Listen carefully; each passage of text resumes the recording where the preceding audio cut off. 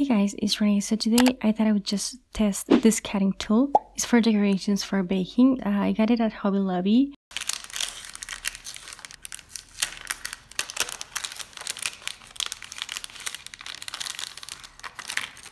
So this is what it looks like. It looks exactly like an X-Acto knife, like a regular one, but it's pink. And I liked that the blades came in their little box instead of like a random bag, you know what I mean? So first I'm gonna be testing this, cutting some fondant, rolling my fondant, using this template. If you wanna know what these decorations ended up being, that DIY is gonna be on the cards. And actually it went pretty smooth, pretty easy to cut through fondant. I must say I wasn't expecting this. And here's another example with some colored fondant and pretty much the same thing. It's really easy to work with and it goes like really smooth. I'm also going to be testing this with some gum paste, but also comparing this to a regular X-Acto knife to see if there is actually any difference because as you can see both X-Acto knives look exactly the same except one has like rose gold and the other one is like silver. And yeah, rolling some gum paste. And rumor has it that if you clap three times, your gum paste or fondant just roll by themselves.